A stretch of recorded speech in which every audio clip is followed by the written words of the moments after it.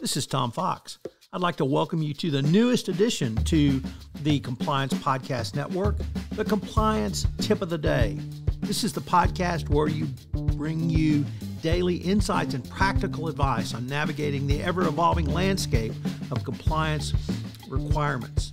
Whether you're a seasoned compliance professional or just starting your journey, my aim in this podcast is to provide you with a bite sized, actionable tip to help you stay on top of your compliance game.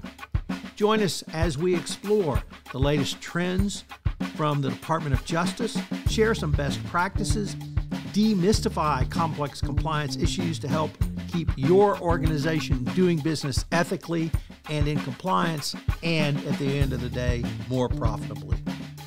Tune in daily for your dose of compliance wisdom. Let's make compliance a little less daunting, one tip at a time.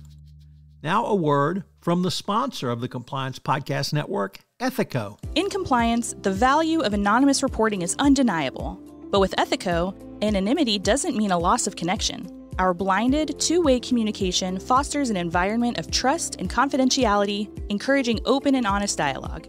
It's not just about receiving reports, it's about understanding the story behind each one, creating a culture of integrity and respect. Transform your approach to anonymous reporting with Ethico. Begin your journey at ethico.com/cpn, where you can book a demo, access an exclusive white paper by Tom Fox titled "The ROI of Compliance," and utilize our free ROI calculator. For today's compliance tip of the day, I would ask you to think about layoff and separation issues and protecting against claims of retaliation. Treating employees with respect means listening to them and not showing them the door as quickly as possible with an escort to their car.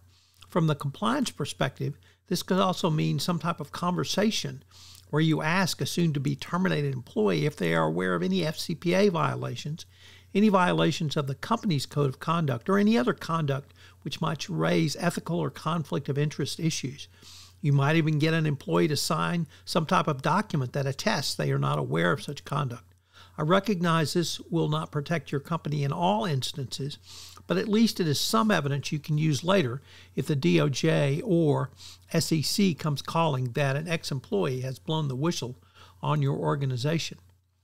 Before the layoffs start, a compliance professional should work with the legal and HR departments to ensure that employee separation documents are in compliance with the SEC requirements regarding confidentiality and separation agreements that prevents employees uh, that or that would prevent employees from bringing violations to appropriate legal or enforcement officials. Such documents must not have any language preventing an employee from taking such action.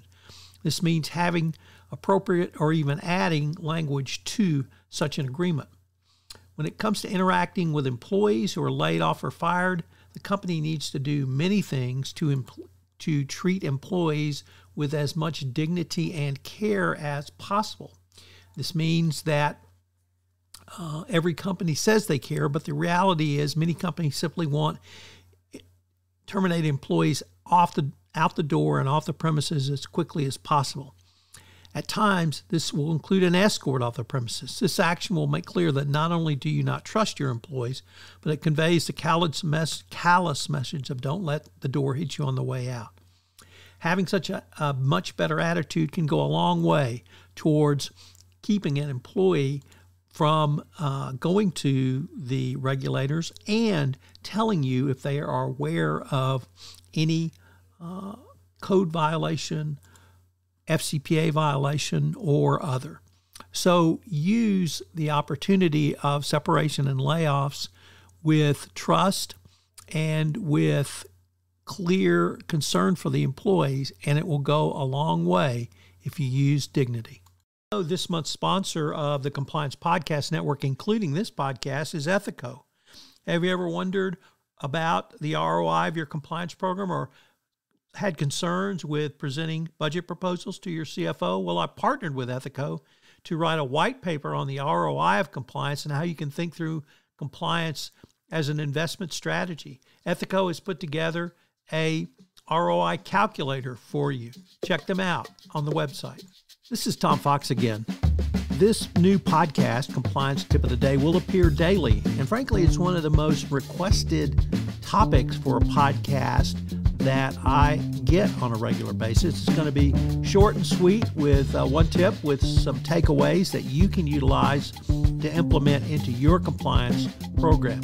If you've got a question that you would like a tip on, please submit them uh, through our website and we will use them in an upcoming episode.